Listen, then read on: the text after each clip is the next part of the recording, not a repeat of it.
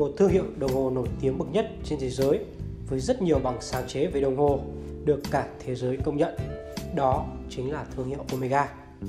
Và một thái cực hoàn toàn khác, thương hiệu đồng hồ độc lập đến từ Thụy Sĩ Armin Strom với độ hoàn thiện đỉnh cao tới từng chi tiết. Vậy, phổ thông hay độc lập? Các bạn hãy cùng ra bảo Luxury tìm hiểu về hai chiếc đồng hồ này trong video dưới đây.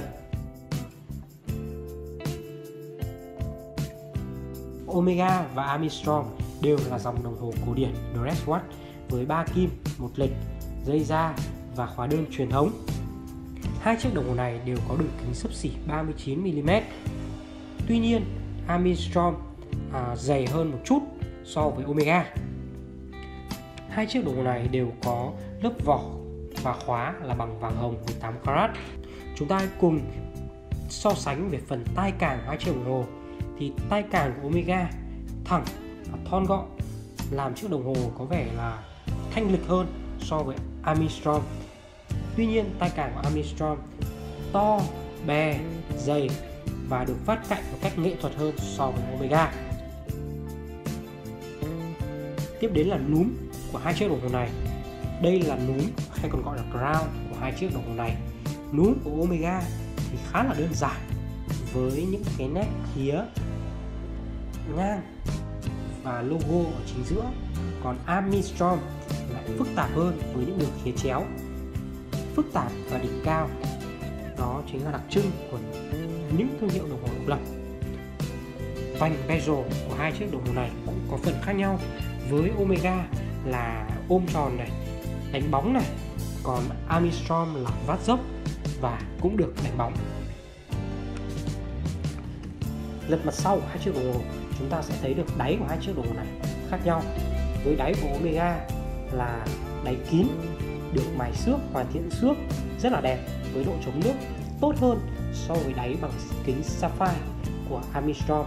Tuy nhiên là nếu như mà chúng ta nhìn qua cái lớp kính sapphire của Armstrong, chúng ta phải thốt lên rằng cỗ máy của Armstrong quá là đẹp, tuyệt vời.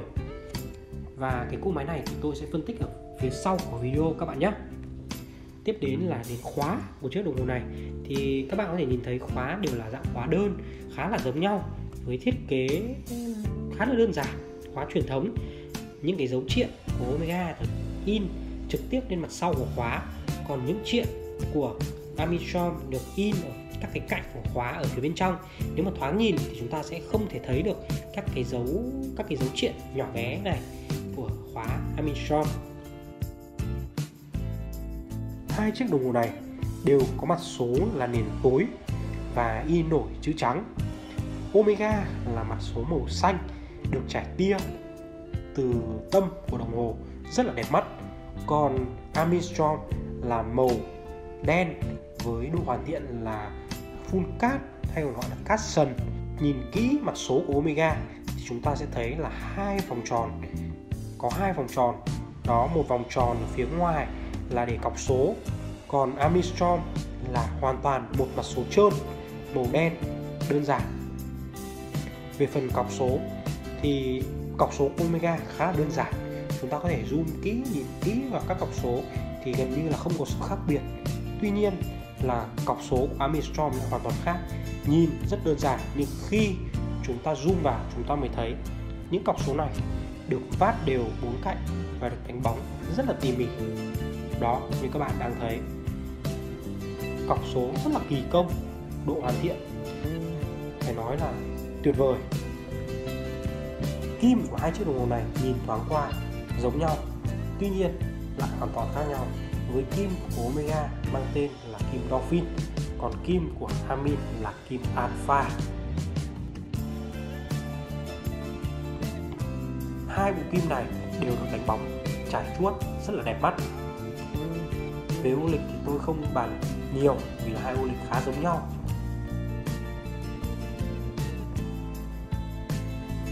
Hai chiếc đồng hồ này còn có một điểm chung nữa mà tôi chưa đề cập tới. Đó là hai chiếc đồng hồ đều sử dụng chung máy của Omega.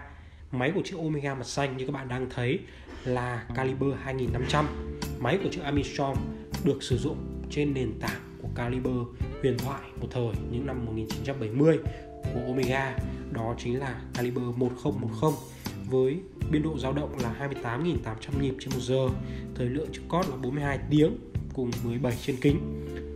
Video này tôi sẽ chèn một cái hình ảnh đó chính là hình ảnh caliber 1010 khi chưa được những nhà chế tác của Armstrong modify. Đó, đây chính là hình ảnh của caliber 1010. Rất là cổ kính đúng không ạ?